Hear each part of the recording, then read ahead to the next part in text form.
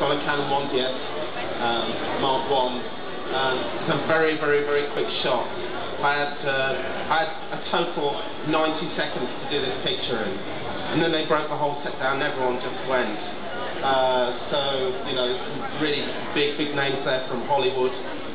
Pets present and Pat. And uh, yeah, it was a great shot to do.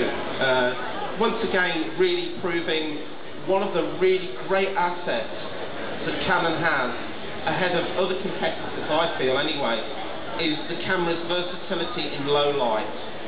And this picture is not lit. This is actually shot in low light, no flash. So the camera's low light performance really, really